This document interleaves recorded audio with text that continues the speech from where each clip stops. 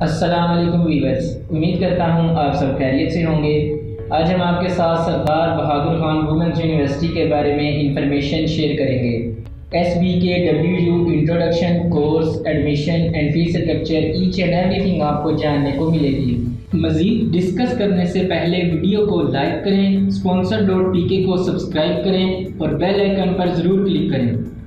Sardar Bahadur Khan women's university is a women's university in Quetta Balochistan it was establish in two thousand four اب اس university کے programmes کے بارے میں بات کرتے ہیں۔ یہ university undergraduate programmes offer کرواتی ہے۔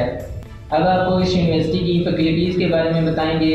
اس میں faculty of life sciences faculty of basic sciences faculty of social sciences and faculty of management and computer sciences اس میں موجود ہیں۔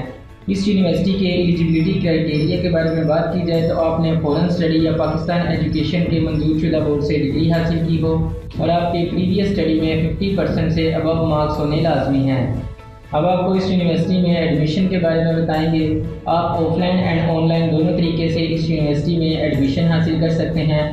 آف لائن تو آپ کو فزیکلی اس یونیورسٹی کو جا کر وزٹ کرنا ہوگا اور اپنے فارم سبمٹ کروانے ہوں گے۔ اور اگر آپ آن لائن فارم فل کرنا چاہتے ہیں تو آپ S B K W U کی آفیشیل ویب سائٹ پر جائیں، وہاں پر بھی ان کے فارم موجود ہیں۔ آپ ان کو فل کر کے اس میں اپلائی کر سکتے ہیں۔ اس یونیورسٹی کے فیس اسٹرکچر کے بارے میں بات کی جائے تو یہ یونیورسٹی ایوری ایئر اپنا fee structure increase and decrease کرتی ہے۔ ہر کورس کے فیس اسٹرکچر کی ڈیٹیلز کا لنک ویڈیو کی ڈسکرپشن میں موجود ہے اور آپ مجھے کمنٹ سیکشن میں بھی پوچھ سکتے ہیں۔ S B K W U کے ڈگری اسکوپ کے بارے میں بات کی جائے تو یہ university biotechnology plant sciences zoology mathematics chemistry environmental science English literature and linguistics fine arts economics commerce and computer science جیسے کورسز آفر کرواتی ہے آپ ان کورسز میں مہارت حاصل کر کے اپنا بزنس ڈیولپ کر سکتے ہیں۔